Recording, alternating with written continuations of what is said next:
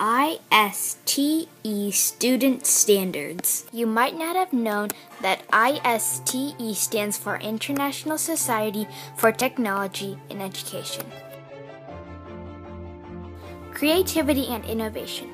Students demonstrate creative thinking, construct knowledge, and develop innovative products and processes using technology. Communication and collaboration. Students use digital media and environments to communicate and work collaboratively, including at a distance, to support individual learning and contribute to the learning of others. Research and information fluency. Students apply digital tools to gather, evaluate, and use information critical thinking, problem solving, and decision making.